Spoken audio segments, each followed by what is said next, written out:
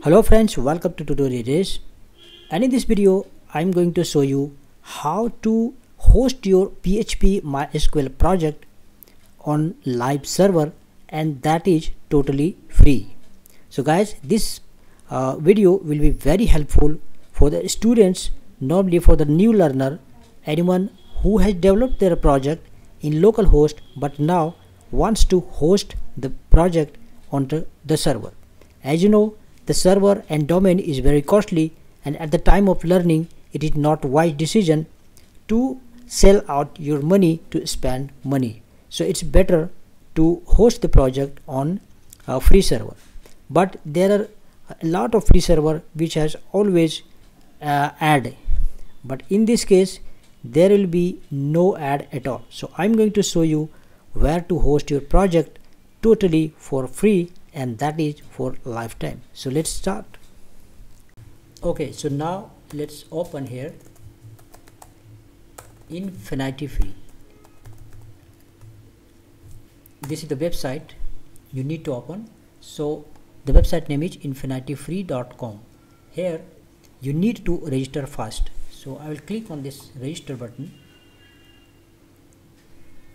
Once you click on register button then here you need to put your email id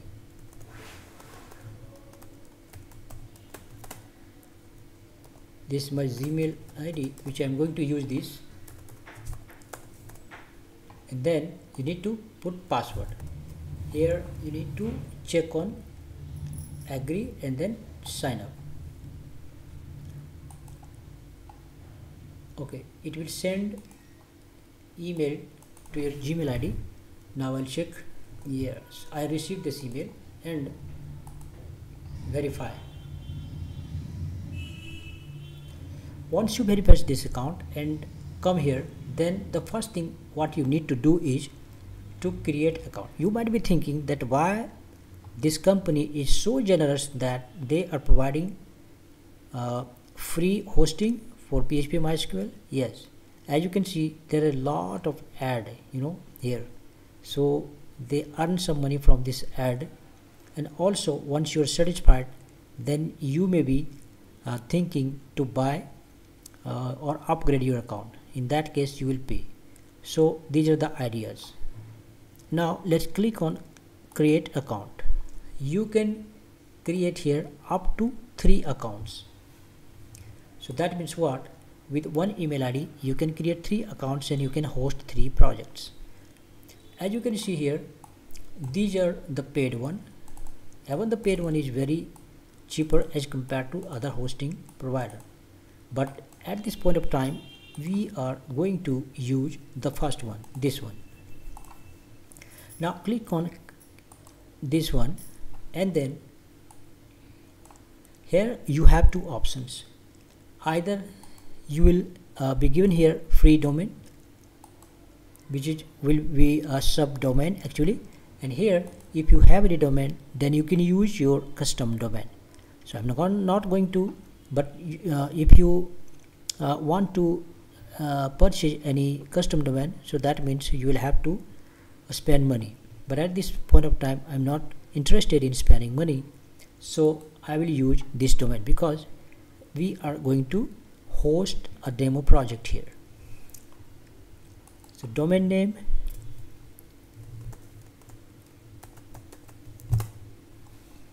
As I mentioned you before that this one is very good for learning purpose particularly. Now I will select this. So these are the options you can select any one of these.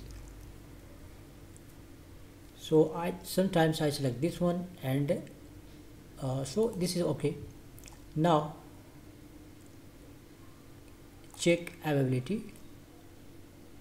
Yeah this is available. Now you need to put here password. Once you put a password then click on create account. Now finally our account has been created. Now click on open control panel. Click on I approve once you approve this then you will be redirected to this cPanel this is cPanel but not full-fledged but enough to do the fundamental task. After you come here the first thing what you need to do is and yeah in the meantime you do one thing. Uh, let's go to accounts and then check if our domain has been activated or not. So this is your account and let's check our domain name. If you click here and then click on this one also. So at this point of time our domain is not active. Now what we will do? Then now click on file manager okay and then click on htdocs delete.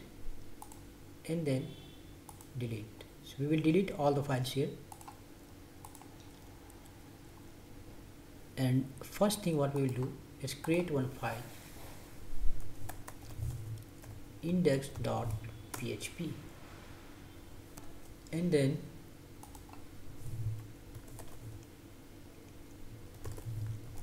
php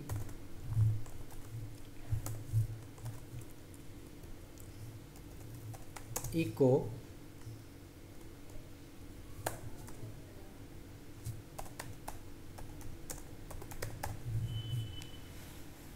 hello world.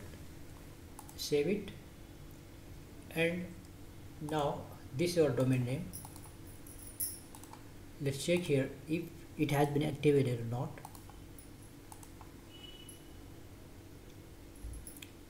no still it's not active so we need to wait for a few minutes. So finally guys you can see our website is live okay? This is our website. And now you can see the file manager. We will go edit. So this is the code we have written here php code. If you want to verify more then dollar a equals to 90 dollar b equal to 50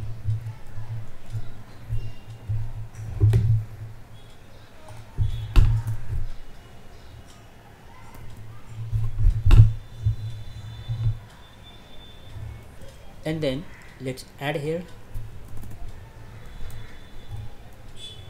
echo dollar a plus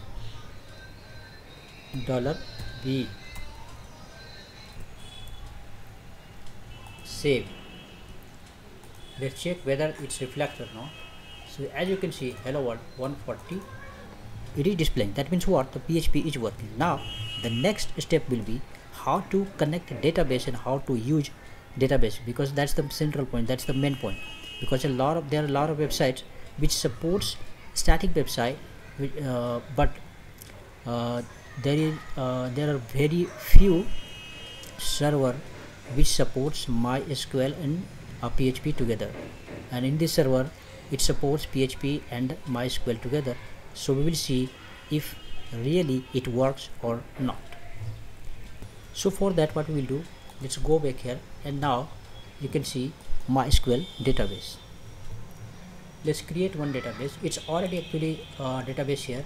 So this one is host name this is port number password and uh, database.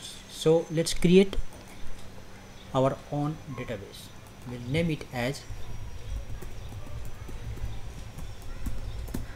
tutorial rays. So create database.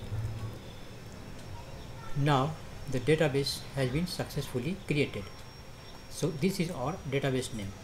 Now we will write a connection here database connection and we will check whether it's working or not so this is our database connection string localhost username password. So we will replace from here. So our database name is this one. Let's write here database. Database name. Name. Field. So uh, first this is our database. We have written another line for database selection. Mysqli select db and server name in our case is not localhost but this is our host name right? So we need to write this host name here. And username we will find here username. This is our username. And finally we will write password password is here. So let's copy it and then paste password that's it. Now save it and we will check whether it's working or not. So as you can see it is saying connection successfully. That means what? Our mysql database successfully has been connected with php so now we will use here php admin and we will create one simple uh, table. Okay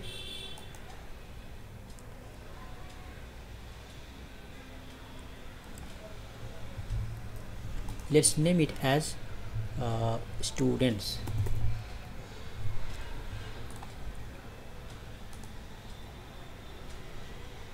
Then id auto increment primary key first name last name email. So these are the fields we will be using. Varchar 255 255 this one is varchar as well 255 okay? And now finally let's save it. Right? Our database has been successfully created. The next step will be to fetch the data and display. So let's go to the file. The file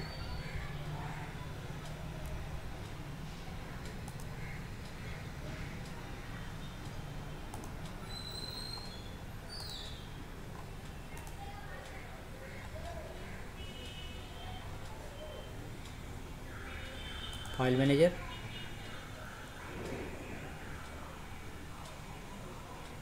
Htdocs and finally here.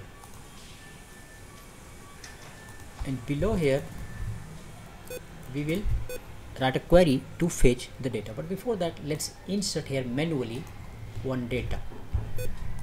So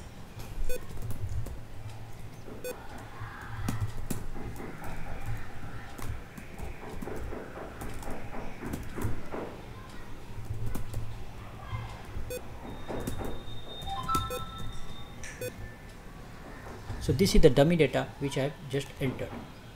Now let's add another one.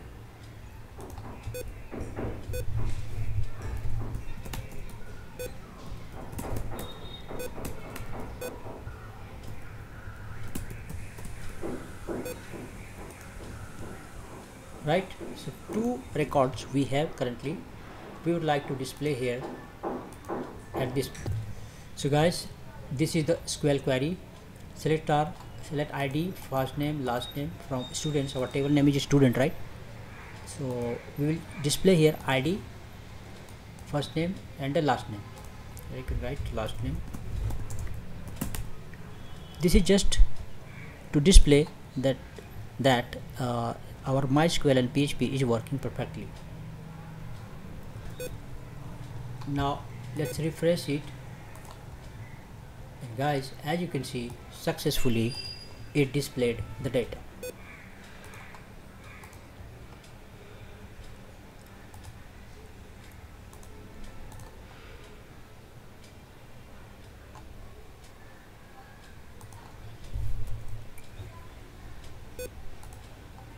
oh.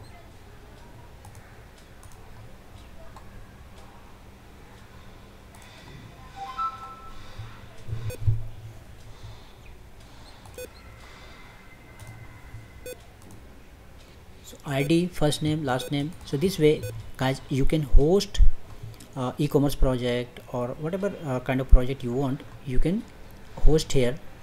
And uh, show this url to anyone you want. So hope this video is useful for you. Thank you for watching. Bye bye